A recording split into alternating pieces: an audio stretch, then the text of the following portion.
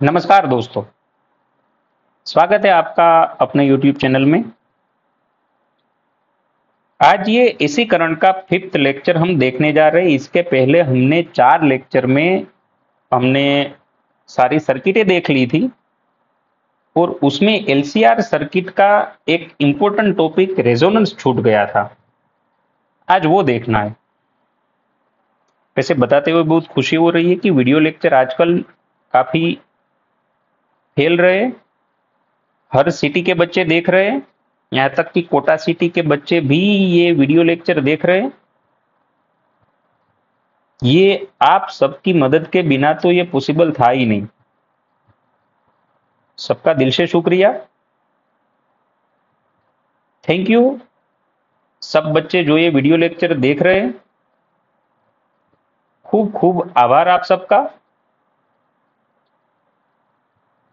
भगवान से मेरी तो यही प्रार्थना है कि जहाँ पे भी आप चाहो, वहाँ पे आपको एडमिशन मिल जाए। अगर मेडिकल वाले बच्चे देख रहे हैं तो यही प्रार्थना करूँगा कि एम्स या तो कोई अच्छी गवर्नमेंट कॉलेज में आपको एडमिशन मिल जाए। और अगर जेई वाला बच्चा दिख रहा है तो आईआईटी एनआईटी में उसका एडमिशन हो जाए। यही भगवान से प्रार्थना। चलिए देखते रेजोनेंस क्या है। चलो। यहाँ पे देखो तो होता यह है कि थोड़े फेजर डायग्राम पहले देख लो। चलो। तो यहाँ पे हमने पिछले लेक्चर में भी बात की थी कि आप एक काम करो, करंट का फेजर यहाँ पे ड्रॉ कर लो। अब आर, एल और सी के वोल्टेज के फेजर कैसे ड्रॉ करने, ये तो बात हमने कर ली थी, यहाँ पे ड्रॉ कर लो वी आर। यहाँ पे वी एल। यहाँ पे वीसी हा या ना? फिर नेट वोल्टेज कैसे लिखते थे? नेट वोल्टेज ऐसे लिखते थे V net equal to under root ये हो जाएगा V R square plus V L minus VC का स्क्वेयर आपको याद हो तो। अगर आपने आगे के लेक्चर नहीं देख रहे, देखे तो पहले वो देख लो, अच्छे से समझ में आ जाएगा। ये तो दोनों अपोजिट डिरेक्शन में ही है तो बड़े में से छोटा सब्ट्रैक्ट कर लो, मान लो ये VL बड़ा है VC छोटा है तो VL माइनस VC और R का जो रिजल्टेंट आ रहा है, वो अपना नेट वोल्टेज होगा। मान लो कभी अगर ऐसा हुआ कि VL और VC दोनों सेम हो गए तो? सोचो जरा। मान लो कभी ऐसा हुआ कि VL और VC अगर ये दोनों ही सेम हो गए तो? वो कंडीशन हो जाएगी रेजोनेंस की कंडीशन अगर ये दोनों ही सेम हो गए, तब तो ये दोनों एक दूसरे को काट देंगे। तब तो नेट वोल्टेज पूरा रेजिस्टेंस को ही मिलेगा। वही तो रेजोनेंस है। वो कंडीशन में ये हो जाएगा कि एक बात, एक और बात, आप सोचो। अगर मान लो, छेद हम लिखते थे नेट इंपीडेंस क्या हम ऐसे लिखते थे? Net impedance R square plus XL minus X C का स्क्वेयर अरे हा या ना? मान लो कभी ऐसा हुआ कि एक्सएल और एक्स दोनों सेम हो गए तो? ये दोनों सेम हो गए तो ये भी सेम हो ही जाएँगे ऑटोमेटिकली हो जाएँगे। V equal to I R L equal to I XL VC equal to I XC I तो दोनों में सेम होगा तो अगर एल और वीसी सेम है तो एक्सएल और एक्ससी भी सेम हो जाएँगे। तब तो जेड मिनिमम हो जाएगा। मतलब इसका नेट इफ़ेक्टिव रेजिस्टेंस जैसा टर्म जो कि करंट को रोकने वाला टर्म है, वो मिनिमम हो जाएगा। इसमें से करंट काफ़ी बढ़ जाएगा। ये कंडीशन में करंट यहाँ पे काफ़ी बढ़ जाएगा। वो कंडीशन है रेजोनेंस की। रेजोनेंस का मतलब फिजिक्स में यही होता है कि एम्पलीट्यूड काफ़ी बढ़ जाने। वो जो एम्पलीट्यूड से ओसिलेट कर रहा है, वो एम्पलीट्यूड जब काफ़ी बड़ा हो जाए, जब बड़े बड़े एम्पलीट्यूड से ओसिलेट करने लगे तो वो कंडीशन रेजोनेंस की कंडीशन है। ठीक है, मान लो रियलिटी में रेजोनेंस क्या होता है रियल लाइफ में। मान लो, एक छोटा सा एग्जांपल बताऊँ, मेरी बात करूँ तो मैं एट स्टैंडर्ड में जब पढ़ रहा था, तब मेरे टीचर जो मुझे मैथ्स पढ़ा रहे थे, वो मुझे बिल्कुल समझ नहीं आ रहा था। हाँ तो होता ये था कि काफ़ी अच्छा पढ़ा रहे थे, लेकिन मेरी समझ में वहाँ पे कुछ नहीं आ रहा था। हो सकता है कि वो जो फ्रीक्वेंसी से बोल रहे वो फ्रीक्वेंसी में समझ ही नहीं पा रहा हूँ। आपके साथ भी ऐसा होता होगा। फिर हुआ ये कि एट स्टैंडर्ड तो मेरा ऐसे ही निकल गया। फिर नाइन्थ स्टैंडर्ड में जब शुरू के दो तीन महीने यही चला, लेकिन आफ्टर दो टू या थ्री मंथ कोई टीचर आए, नए टीचर चूँकि वो जो बोल रहे थे, वो मुझे अच्छे से समझ में आ रहा था। काफ़ी अच्छे से मतलब वो बोलते काफ़ी कम थे, लेकिन मैं समझ कुछ ज़्यादा ही समझ रहा था। तो क्या मैं ये सोच सकता हूँ कि उसकी फ्रीक्वेंसी और मेरी फ्रीक्वेंसी मैच हो रही है? रेजोनेंस हो रहा। बड़े बड़े ओसिलेस बड़े बड़े एम्पलीट्यूड से ओसिलेशन हो रहे। तो मेरी समझ में कुछ ज़्यादा ही आ रहा। है हाँ मतलब ये रियलिटी के साथ कनेक्ट कर सकते हैं इसे। तो रियलिटी में रेजोनेंस होता है भाई। ऐसे होता है रेजोनेंस तो यहाँ पे रेजोनेंस ये है कि भाई आ, जब एक्सेल और एक्ससी दोनों सेम हो जाएँगे उस वक्त करंट काफ़ी बढ़ जाएगा, वो होता है रेजोनेंस तो मैं यहाँ पे कंडीशन लिख लेता हूँ रेजोनेंस की क्या क्या कंडीशन है, देखो। पहली कंडीशन तो ये कि वी एल और वीसी मतलब इंडक्टर को मिलने वाले वोल्टेज और कैपेसिटर को मिलने वाले वोल्टेज दोनों सेम हो जाएँगे। दूसरा मैं इसे भी लिख लू एक्सएल और एक्ससी दोनों सेम हो जाएँगे। V equal to I XL VC equal to I XC I तो दोनों में कट जाएगा। चलिए, मैं ये भी लिख सकता हूँ कि जेड ये हो जाएगा मिनिमम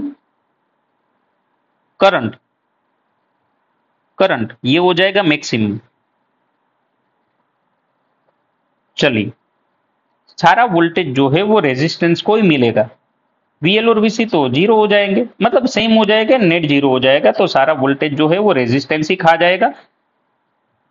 यहाँ पे मैं इसे सोच सकता हूँ कि XL equal to C XL मतलब ओमेगा एल एक्स सी मतलब वन बाई ओमेगा सी तो यहाँ पे omega square equal to one by under root sorry one by L C तो ओमेगा क्या मैं इसे लिख सकता हूँ? Omega equal to one by under root L C और अगर मैं फ्रीक्वेंसी लिखना चाहूँ तो फ्रीक्वेंसी में ऐसे लिख सकता हूँ। Omega equal to two pi F होता है तो टू पाई को भेज दो सामने, ये हो जाएगा two pi under root L C अरे हा या ना? तो मतलब यहाँ पे ये जो फ्रीक्वेंसी मुझे मिली, वो है रेजोनेंस फ्रीक्वेंसी चलो, ये भी ठीक है। आप सोचो कि शुरू शुरू में जेड क्या होगा? तो मान लो जेड वर्सेस फ्रीक्वेंसी का यहाँ पे जो ग्राफ बताया ग्राफ समझो आप पहले। जेड वर्सेस फ्रीक्वेंसी का ग्राफ जो यहाँ बताया है शुरू शुरू में फ्रीक्वेंसी मान लो ज़ीरो है। ज़ीरो फ्रीक्वेंसी पे क्या होगा? ये एक्सएल तो हो जाएगा ओमेगा एल अरे हा या ना? तो ये तो हो जाएगा ज़ीरो क्योंकि ओमेगा ही ज़ीरो है टू पाई एफ़ एल ये ज़ीरो है। एक्स सी ये हो जाएगा शुरू शुरू में इनफाइनाइट क्यों क्योंकि एक्सेल मतलब one by two pi F C one by omega C अगर फ्रीक्वेंसी ही ज़ीरो है तो ये काफ़ी बढ़ जाएगा इनफाइनाइट हो जाएगा, और अपना जेड भी काफ़ी बड़ा मिलेगा। ये ज़ीरो है, लेकिन ये काफ़ी बड़ा है तो जेड काफ़ी बड़ा मिलेगा। जब फ्रीक्वेंसी छोटी है तो तो शुरू शुरू में जेड मैक्सिमम है फिर जैसे जैसे जैसे से फ्रीक्वेंसी बढ़ती जाएगी, कहीं ना कहीं ये दोनों सेम हो जाएँगे। ये दोनों सेम हो जाएँगे तो जेड मिनिमम हो जाएगा तो जेड धीरे धीरे कम होता गया, कम होता गया। फिर ऐसा हुआ कि फ्रीक्वेंसी काफ़ी बढ़ गई तो एक्सेल काफ़ी बढ़ जाएगा। ये तो one by two pi F C काफ़ी कम हो जाएगा, लेकिन हाई फ्रीक्वेंसी पे एक्सेल बढ़ जाएगा तो जेड वापस बढ़ जाएगा। तो होता यह है कि जैसे जैसे फ्रीक्वेंसी बढ़ाते हो, शुरू शुरू में जेड मैक्सिमम होता है due to capacitor capacitive induct capacitive reactance से ये मैक्सिमम हो जाएगा। फिर कोई फ्रीक्वेंसी पे ये दोनों सेम हो जाएँगे, तब तो ये मिनिमम हो जाएगा। सिर्फ़ आर बचेगा। और फिर हाई फ्रीक्वेंसी पे एक्सेल काफ़ी बढ़ जाएगा इंडक्टिव रिएक्टेंस काफ़ी बढ़ जाएगा, तब ये कम हो जाएगा, लेकिन एक्सेल की वजह से जेड वापस मैक्सिमम हो जाएगा। तो जहाँ पे जेड मिनिमम हो रहा है, वही तो है रेजोनेंस और वही रेजोनेंस की वजह से वहाँ पे करंट काफ़ी बढ़ रहा है। देखो ये जेड जैसे जैसे जैसे जैसे जेड मैक्सिमम था करंट मिनिमम हो जाएगा। जेड मिनिमम हुआ करंट मैक्सिमम हो जाएगा जेड वापस मैक्सिमम हुआ करंट वापस मिनिमम हो जाएगा। तो जैसे जैसे फ्रीक्वेंसी आगे चेंज करते जाओ जेड में मतलब इसके इंपीडेंस में चेंज होता जाएगा मतलब करंट में चेंज आएगा, जहाँ पे जेड मिनिमम हो जाएगा, वहाँ पे करंट मैक्सिमम हो जाएगा। अरे हा या ना? और जो फ्रीक्वेंसी पे ये हो रहा है, वो फ्रीक्वेंसी हो जाएगी रेजोनेंस फ्रीक्वेंसी वहाँ पे करंट मैक्सिमम मिलेगा। और एक बात बताओ कि जहाँ पे ये मैक्सिमम करंट जितना मिल रहा है, maximum current by root two जहाँ पे होगा, वहाँ पे भी दो फ्रीक्वेंसी मिल रही है। Maximum current by root two जहाँ पे हो रहा है, वहाँ पे भी दो फ्रीक्वेंसी मिल रही है, एक यहाँ पे, एक यहाँ पे। अगर ये फ्रीक्वेंसी पे करंट यहाँ जो मिल रहा था, वो current divide by root two जितना मिल रहा है अरे भाई, यहाँ पे जो करंट मिल रहा था, उसका रूट टू जितना कम डिवाइड बाई रूट टू जितना कम, जहाँ पे करंट मिल रहा है, वहाँ पे पावर हाफ़ हो जाएगा, क्योंकि P proportional to I square होता है। अगर current divide by root two है तो यहाँ रूट टू का स्क्वेयर कर लोगे तो पावर हाफ़ हो जाएगा, और जहाँ पे पावर हाफ़ हो रहा है, वो होगी half power frequency the frequency at which power becomes half of its maximum value या फिर आप ऐसा बोल सकते हो करंट ये वन बाई रूट टू जितना कम one by root two time जितना कम हो जाएगा, ये उसे हाफ़ पावर फ्रीक्वेंसी और ये फ्रीक्वेंसी के बीच का जो गैप है, ये ये हो जाएगा बैंडविथ सही है? ये दोनों फ्रीक्वेंसी के बीच का जो गैप है, वो गैप हो जाएगा बैंडविथ चलिए। अब ये हाफ़ पावर फ्रीक्वेंसी आपको याद रखनी है बैंडविथ आपको याद रखना है। चलो, यहाँ से आगे देखते हैं। क्वालिटी फैक्टर ये भी काफ़ी अच्छा टर्म है और यहाँ से क्वेश्चन आ सकते हैं। देखो क्वालिटी फैक्टर क्या है? हमने थोड़ी देर पहले यहाँ पे देखा कि करंट काफ़ी मैक्सिमम हो रहा है। अब होता क्या है? देखो, थोड़ा समझो। आपने रेडियो तो चलाया होगा। जब आप छोटे थे, तब तो रेडियो का थोड़ा बहुत तो जमाना था। अभी भी, अब तो मोबाइल का इतना मोबाइल का क्रेज है कि रेडियो तो कोई सुनता ही नहीं है। वो मैं पुराने वाले रेडियो की बात कर रहा हूँ। जब आप छोटे हो गए तब आपके ग्रैंडफादर मतलब आपके जो दादाजी है, वो शायद वो रेडियो का यूज़ कर रहे हो, सुनते हो तो बात अलग है, देखा हो तो आपने। वहाँ पे क्या होता है, वो रेडियो में आगे वो बटन हो रहा है। वो बटन को ऐसे ऐसे घुमाते थे, घुमाते जाते घुमाते जाते तो अलग अलग चैनल पे वहाँ पे जैसे 92.7 है 98.3 है 93.5 है, वहाँ पे वो फ्रीक्वेंसी पे रेडियो चलता है, गाने चलते थे, हम सब लोग सुनते आए हैं। चलो, वहाँ पे क्या होता है कि वो पर्टिकुलर वो जो हम बटन ऐसे घुमाते थे मान लीजिए, मैं यहाँ पे एक दो फ्रीक्वेंसी लिख लेता हूँ, आप बने रहिए मेरे साथ, समझ में आ जाएगा? देखो 92.7 मान लीजिए 93.5 मान लीजिए, और 98.3 चलो, ऐसी तीन फ्रीक्वेंसी मैंने यहाँ पे लिख ली है थोड़ा ध्यान से देखना। जैसे जैसे जैसे जैसे मान लीजिए, मैं वो घुमाता, जैसे वो मैं बटन घुमाता हूँ, वहाँ पे कैपेसिटर का कैपेसिटेंस चेंज होता है या फिर इंडक्टर चेंज होता है? पुराने जमाने में तो कैपेसिटर चेंज हो रहा था मतलब वो वर्क तो वो रेजोनेंस फ्रीक्वेंसी पे ही करता था। कैपेसिटेंस चेंज होते होते होते, ये देखो रेजोनेंस फ्रीक्वेंसी यहाँ पे। ये रेजोनेंस फ्रीक्वेंसी 92.7 तक पहुँच जाएगी मतलब ये करंट मैक्सिमम हो जाएगा मतलब उसकी आवाज़ हमें कुछ ज़्यादा ही सुनाई देगी। अरे हा या ना वापस हमने कैपेसिटेंस चेंज किया कैपेसिटेंस चेंज किया कैपेसिटेंस चेंज किया, वापस फ्रीक्वेंसी रेजोनेंस फ्रीक्वेंसी जब 93.5 हुई, तब 93.5 वाली जो करंट था वो बढ़ गया और हमें वो फ्रीक्वेंसी में, वो फ्रीक्वेंसी में काफ़ी अच्छी आवाज़ सुनाई दे रही है। फिर कैपेसिटेंस चेंज हो गया 98.3 पे जाके रुका रेजोनेंस फ्रीक्वेंसी तो वहाँ की, वहाँ करंट बढ़ गया और वो आवाज़ हमें सुनाई दे रही है। यहाँ पे आप देखो ये अगर मान लो 93.5 है तो यहाँ 93.2 या 93 पॉइंट यहाँ पे थोड़ी बढ़ जाएगी। और यहाँ कहीं पे दूसरी कोई फ्रीक्वेंसी होगी उसकी आवाज़ कम आ रही है क्योंकि करंट वहाँ पे कम है। रेडियो स्टेशन वाले ये काफ़ी पास पास वाली फ्रीक्वेंसी की फ्रीक्वेंसी वाली चैनल तो किसी को देते ही नहीं है। जैसे 93.5 यहाँ पे दिया है तो 93.6, 93.7, 93.8 ये फ्रीक्वेंसी तो किसी को दी ही नहीं होगी। जैसे 93.4, 93.3, 93.2, 93.1 ऐसे फ्रीक्वेंसी किसी को देते ही नहीं है। क्यों नहीं देते? क्योंकि अगर वो फ्रीक्वेंसी यहाँ पे आ रही है तो एक साथ दो तीन दो तीन आवाज़ें हमें सुनाई देगी। ठीक है? तो इसके लिए क्या होना चाहिए? अगर मान लो ये फ्रीक्वेंसी का ग्राफ ऐसे आया होता ये फ्रीक्वेंसी का ग्राफ तब तो ये फ्रीक्वेंसी पे हमें इतनी ज़्यादा आवाज़ नहीं सुनाई देगी, बल्कि दूसरी फ्रीक्वेंसी जो पास पास है, वो फ्रीक्वेंसी की आवाज़ें भी इतनी सुनाई देगी। तो ये होना ज़रूरी है कि हम जो फ्रीक्वेंसी पे सुनना चाहते हैं, वो फ्रीक्वेंसी का करंट काफ़ी बड़ा हो, ये हमारे लिए काफ़ी ज़रूरी है। अगर वो ग्राफ बड़ा है तो हमें क्लियरली सुनाई देगा और बाकी फ्रीक्वेंसी पे जो आवाज़ आ रही है, वो कम सुनाई देगी। लेकिन अगर हमारा ग्राफ ऐसा हुआ, तब तो मुश्किल है भाई, और फ्रीक्वेंसी की आवाज़ें भी ज़्यादा सुनाई देगी। ये वाली तो सुनाई देगी, साथ में ये वाली थोड़ी कम तो कम, लेकिन सुनाई देगी। तो हमारी इच्छा क्या है कि वो पर्टिकुलर फ्रीक्वेंसी पे करंट काफ़ी बड़ा हो जाए। तो ये ग्राफ जितना हो सके, जितना हो सके, उतना ये शार्प बनना चाहिए। अरे हा या ना? तो ये अपना ग्राफ कितना शार्प है? मतलब ये करंट कितना मैक्सिमम है, ये पता चलता है क्वालिटी फैक्टर से। समझ रहे हो आप?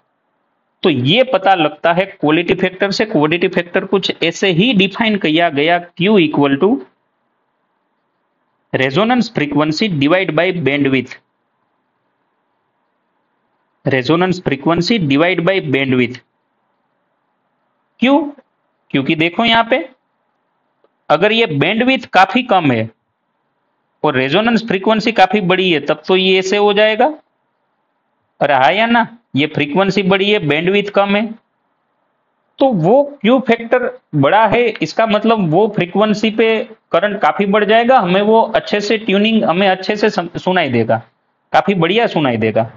अरे हा या ना तो बैंडविथ का एक फॉर्मूला आप ऐसा भी याद रखो F R by delta F दूसरा बैंडविथ सॉरी ये क्वालिटी फैक्टर को क्वालिटी फैक्टर का फॉर्मूला आपको ऐसे याद रखना है रेजोनेंस फ्रीक्वेंसी बाई बैंडविथ दूसरा क्वालिटी फैक्टर को ऐसे भी डिफाइन किया गया है क्वालिटी फैक्टर को, कि इंडक्टर को मिलने वाला वोल्टेज डिवाइड बाई रेजिस्टेंस को मिलने वाला वोल्टेज रहा या ना? इंडक्टर को मिलने वाला वोल्टेज डिवाइड बाई रेजिस्टेंस को मिलने वाला वोल्टेज ये भी क्वालिटी फैक्टर ही दिखाएगा. या तो फिर ये रेजोनेंस टाइम पे हाँ भाई, ये भी याद रखना, हर वक्त पे नहीं रेजोनेंस के टाइम पे भी रेजोनेंस के टाइम पे ही। या तो आप ऐसे भी सोच सकते हो VC डिवाइड बाई वी क्योंकि जितना वोल्टेज इंडक्टर को मिलता है, उतना ही वोल्टेज कैपेसिटेंस को मिलता है कैपेसिटर को मिलता है। क्यों? क्योंकि यहाँ पे तो ऐसा होगा कि रेजोनेंस पे सारा वोल्टेज जो है रेजिस्टेंस ही खा जाएगा। तो ये दोनों का वोल्टेज कोई मैटर ही नहीं करता है। क्योंकि ये तो एक दूसरे को काट देंगे नेट वोल्टेज में तो सिर्फ़ रेजिस्टेंस को मिलेगा। चलिए मान लीजिए ये हंड्रेड का है। तो ये, इसको हंड्रेड मिल जाएगा, अब इसको थ्री हंड्रेड मिले, इसको थ्री हंड्रेड मिले, उससे कोई दिक्कत नहीं है। लेकिन अगर यहाँ पे वोल्टेज इसे ज़्यादा मिल गए तो करंट यहाँ से ज़्यादा फ्लो करेगा। अरे हा या ना? करंट यहाँ से भी ज़्यादा फ्लो करेगा और करंट ज़्यादा फ्लो करे, वो तो अच्छी बात है। तो एक ऐसे भी डिफाइन किया गया है कि रेजिस्टेंस को जितना वोल्टेज मिल रहा है, उसके कंपेरेटिवली इंडक्टर या तो कैपेसिटर को कितना ज़्यादा वोल्टेज मिल रहा है, उतना ज़्यादा करंट वहाँ से पास होगा। आया ना? करंट ज़्यादा पास कराएगा। चलो, यहाँ पे क्या मैं ऐसे भी सोच सकता हूँ कि XL divide by R XL को क्या मैं ऐसे भी लिख सकता हूँ? ओमेगा एल अरे V L equal to I XL I और नीचे V R equal to I R तो आई आई तो दोनों में कट जाएगा। अरे, हा या ना? XL divide by R R जितना छोटा होगा, अपना रेजिस्टेंस जितना छोटा होगा करंट उतना ही ज़्यादा होगा, क्योंकि नेट इंपीडेंस तो जेड नेट इंपीडेंस तो आर पे ही डिपेंड है। यहाँ पे रेजिस्टेंस जितना छोटा होगा रेजिस्टेंस जितना छोटा होगा करंट उतना ज़्यादा बढ़ जाएगा और क्यू फैक्टर भी बढ़ जाएगा। क्योंकि जितना करंट ज़्यादा, उतना क्यू फैक्टर ज़्यादा, ये बात तो सही है। तो V equal to I XL I R I I तो कट जाएगा। तो R जितना छोटा, Q उतना बड़ा और Q जितना बड़ा मतलब वो ट्यूनिंग करने के लिए अच्छी बात है। Omega L divide by R चलिए ओमेगा की जगह तो मैं लिख सकता हूँ one by under root L C तो one by under root L C ये मैंने लिखा ओमेगा की जगह पे, यहाँ आर और एल तो जैसे थे, वैसे ही है। एक बार रूट एल रूट एल यहाँ पे कट जाएगा। देखो root L root L cut जाएगा। ये हो जाएगा one by R under root L by C चलिए, या तो मैं X C divide by R कर लू, क्योंकि यहाँ पे वीसी माने I into X C by I into R I I तो कट जाएगा तो भी हो जाएगा एक्स सी की जगह पे मैं लिख सकता हूँ वन बाई ओमेगा सी तो ये हो जाएगा R into omega into C omega की जगह पे one by under root L C तो यहाँ पे नीचे बचेगा आर सी और ये एल सी चला जाएगा ऊपर वन बाई ओमेगा ओमेगा की जगह one by under root L C लिखा तो सी सी कट जाएगा, ये वापस वही आ जाएगा one by R under root L by C सही है भाई? और यहाँ पे एक शार्पनेस मतलब ये शार्प कितना है? क्वालिटी फैक्टर जितना बड़ा होगा, ये ग्राफ की शार्पनेस भी उतनी बढ़ जाएगी। अगर मान लो रेजिस्टेंस बड़ा है तब तो करंट काफ़ी कम पास होगा, शार्पनेस काफ़ी कम होगी। मान लो रेजिस्टेंस छोटा है तो वहाँ पे करंट काफ़ी बढ़ जाएगा, शार्पनेस काफ़ी बढ़ जाएगी। तो क्वालिटी फैक्टर जितना बड़ा, शार्पनेस उतनी ज़्यादा। चलो, देखो यहाँ पे। एक क्वेश्चन है a capacitor resistor and 40 milli henry inductor are connected in series to an AC source of frequency 60 hertz चलिए यहाँ पे फ्रीक्वेंसी 60 हर्ट्ज है। और ये कैपेसिटर एक इंडक्टर और रेजिस्टेंस यहाँ पे कनेक्ट कर दिया है। Calculate the capacitance of the capacitor if current is in phase with voltage चलो। तो करंट और वोल्टेज दोनों एक ही फ़ेज़ में है। इसका मतलब तो आप जानते ही हो करंट और वोल्टेज अगर दोनों एक फ़ेज़ में है, अगर आरएलसी सर्किट में, ये आई और अगर नेट वोल्टेज यहाँ पे आ रहा है नेट वोल्टेज यहाँ पे आ रहा है, तब तो ये बात तो पक्की है कि वी एल और वीसी ये दोनों सेम हो जाएँगे। अगर VL और VC दोनों सेम हो गए, तभी तो नेट वोल्टेज और नेट करंट दोनों सेम फ़ेज़ में हो जाएँगे। यहाँ पे भी देखो, इंडक्टर को मिलने वाला वोल्टेज, कैपेसिटर को मिलने वाला वोल्टेज दोनों सेम दे दिया मतलब ये दोनों एक दूसरे को काट देंगे। नेट वोल्टेज अपना करंट के साथ फ़ेज़ में होगा, दोनों सेम फ़ेज़ में हो जाएँगे मतलब सारा वोल्टेज रेजिस्टेंस को मिल जाएगा और यहाँ पे रेजोनेंस हो रहा है। और अगर रेजोनेंस हो रहा है तो omega equal to one by under root L तो मैं लिख ही सकता हूँ। यहाँ पे आपको एल की वैल्यू दी है तो सी की तो आप निकाल ही सकते हो। फ्रीक्वेंसी आपको पता है सिक्सटी हर्ट्स देखो, यहाँ पे दी है फ्रीक्वेंसी तो टू पाई एफ़ कर लेना। और यहाँ पे सी सी को आप सब्जेक्ट बना दो, हो जाएगा। दूसरी बात also find the reading of volt meter and ammeter volt meter तो ये वोल्ट मीटर तो पूरा वोल्टेज रेजिस्टेंस को मिलेगा तो वोल्टेज तो 110 ही होगा V3 क्योंकि ये 300 300 तो एक दूसरे को काट देंगे अपोजिट डायरेक्शन में है तो। तो नेट वोल्ट मीटर जो रेजिस्टेंस के साथ कनेक्टेड है, वो पूरा वोल्टेज वही खा जाएगा और रेजिस्टेंस को मिलेगा 110 वोल्ट आया समझ में भाई? कहाँ से हमें पता चला कि रेजोनेंस हो रहा है? दो बातों से पता चला। पहला ये फिगर से कि इसे 300 इसे 300 तो ये इंडक्टर और कैपेसिटर को मिलने वाले वोल्टेज जब सेम हो, तब ये रेजोनेंस की कंडीशन ही है। और यहाँ पे लास्ट में बताए current is in phase with voltage मतलब दोनों सेम फ़ेज़ में तो ये दोनों एक दूसरे को काट रहे होंगे। वहाँ से भी पता चल जाएगा। तब तो सारा वोल्टेज ये रेजिस्टेंस ही खा जाएगा मतलब इसका वोल्ट मीटर 110 वोल्ट बताएगा। रेजोनेंस फ्रीक्वेंसी हमें पता है तो रेजोनेंस फ्रीक्वेंसी पता है एल पता है तो सी तो पता चली जाएगा।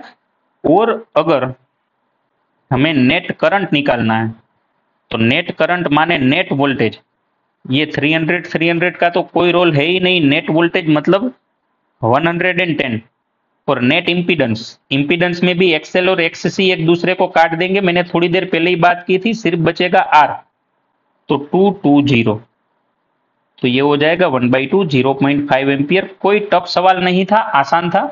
हाँ मैंने आपको तरीका बता दिए, अब आप खुद से कर लेना। चलो, एक और बात। देखो यहाँ पे एक और नया question a coil a capacitor and an AC source of RMS voltage 24 volt are connected in series. By varying the frequency of source, maximum RMS current 6 ampere is observed. चलिए तो हुआ ये कि भाई एक कोयल है एक कैपेसिटर है ये दोनों हमने एसी सोर्स के साथ कनेक्टेड किए और वहाँ पे फ्रीक्वेंसी हम अलग अलग करते जा रहे थे वहाँ पे ऐसा हुआ कि maximum RMS current six ampere मिल रहा है। अब देखो, यहाँ पे थोड़ा कंसेप्चुअल बात यह है कि ये कोयल कोयल इंडक्टर की तरह भी बिहेव करती है और रेजिस्टर की तरह भी बिहेव करती है। चलिए ठीक है। ये बात एक दो लेक्चर पहले के एक वीडियो में हमने की थी। अगर आपको कोई कंफ्यूजन है तो वहाँ पे देख लो। यहाँ पे वो डिस्कस करने जाएँगे तो थोड़ा टाइम चला जाएगा। बोर हो जाओगे आप? चलिए तो मैं यहाँ maximum RMS current six ampere current जब मैक्सिमम होता है, तब रेजोनेंस की कंडीशन होती है। कहीं पे क्वेश्चन में आप सुन लो तो ये बात ध्यान रखो कि कभी भी करंट मैक्सिमम बताया है तो रेजोनेंस की कंडीशन ही ले लेनी है। तो यहाँ पे सारा वोल्टेज रेजिस्टेंस को मिल जाएगा, और नेट इंपीडेंस भी हमें पता चल चल जाएगा। क्या यहाँ पे मैं से लिख सकता हूँ? I max equal to V R क्योंकि सारा वोल्टेज रेजिस्टेंस को ही मिलेगा, और यहाँ पे जेड अब नेट जेड भी नेट रेजिस्टेंस ही होगा। V R twenty four Z की जगह मैं सिर्फ़ आर लिख सकता हूँ, और ये मैक्सिमम करंट मिल रहा था six equal to twenty four by R तो क्या नेट रेजिस्टेंस ये कोयल का resistance six four twenty four four ohm मिलेगा? अरे इसमें तो कोई दिक्कत है ही नहीं। चलिए। तो ये कोयल का रेजिस्टेंस फोर ओहम था। और जब एसी करंट पास हो रहा था, तब ये इंडक्टर जैसे बिहेव कर रहा था। एक्सेल एक्सिस सेम हो गए। चलिए। तब भी वो रेजिस्टेंस तो उसमें था ही, लेकिन करंट चेंज होने की वजह से वो उसमें करंट को अपोज करने वाला मैग्नेटिक फ़ील्ड की वजह से अपोज करने वाला पार्ट जो इंडक्टर इंडक्टिव रिएक्टेंस की तरफ़ बिहेव कर रहा था। चलो, ठीक है। अरे भाई, ये जो कोयल थी, वो कोई आइडियल कोयल नहीं थी। तो वहाँ पे जब DC current sorry AC current pass हो रहा था, तब भी वो रेजिस्टेंस तो उसमें था ही फोर एम्पियर लेकिन करंट जो चेंज होने वाला था, करंट जो चेंज हो रहा था, उसकी वजह से इंडक्टर में ईएमएफ इंड्यूस हो रहा था, वो उसको जनरेट जो कर रहा था, उसी को अपोज कर रहा था। वहाँ पे एक्सेल एक्सेल तो वही होता है करंट को अपोज करने वाला पार्ट वो भी यहाँ पे था। तो यहाँ पे रेजिस्टेंस और इंडक्टिव रिएक्टेंस दोनों एक ही कोयल में थे। और उसमें भी एक्सेल और एक्ससी दोनों सेम हो गए। मतलब रेजोनेंस हो गया मैक्सिमम करंट इतना पास हो रहा था। चलिए, अब वहाँ पे आगे बताया है if this coil is connect battery of EMF 12 volt अब हमने कनेक्ट कर दिया डीसी सोर्स के साथ। अब तो कोई एक्सएल एक्सी का तो कोई सवाल ही नहीं है। और वहाँ भी ऐसा बताया है कि internal resistance four ohm calculate the current through coil अब तो भाई कोई खास बात नहीं है। अब तो डीसी करंट हम जैसे करंट इलेक्ट्रिसिटी में कैलकुलेट कर रहे थे, बिल्कुल I equal to V by R चलिए वी यहाँ पे है ट्वेल्व और नेट रेजिस्टेंस कोयल का तो है ही फोर कोयल का तो मिला है फोर और उसका इंटरनल रेजिस्टेंस भी फोर ओहम है। अरे सेल का इंटरनल रेजिस्टेंस फोर ओहम है और यहाँ पे जो हमारी हमारी कोयल थी, उसका रेजिस्टेंस भी फोर ओहम था। तो अब इतना करंट दूसरी कंडीशन में पास होगा। चलिए, एक और बात। सीरीज़ एलसीआर सर्किट एल हमें बताया है सी हमें बताया है आर हमें बताया है वोल्टेज हमें बताया है। Source frequency for which current maximum चलिए फ्रीक्वेंसी पता लगानी है करंट जब मैक्सिमम हो रहा है तब। तब की फ्रीक्वेंसी का फॉर्मूला तो हमें पता है one by two pi under root L C अब हमें एल पता है, हमें सी पता है तो ये फ्रीक्वेंसी निकालना कोई बड़ी बात नहीं है। दूसरा क्यू फैक्टर क्यू फैक्टर का formula one by R under root L by C तो आर एल सी सब कुछ पता है तो क्यू फैक्टर भी निकाल सकते हैं। एक और बात कभी कभी आप फंस जाओगे रेजोनेंस फ्रीक्वेंसी और बैंडविथ दिया है तो क्यू फैक्टर का फॉर्मूला आपको याद होना चाहिए। चलिए, अगर वीडियो पसंद आया है तो लाइक और सब्सक्राइब करना मत भूलना। अपने दोस्तों के साथ शेयर करो। चलिए, मिलते हैं फिर अगले वीडियो में। थैंक यू दोस्तों।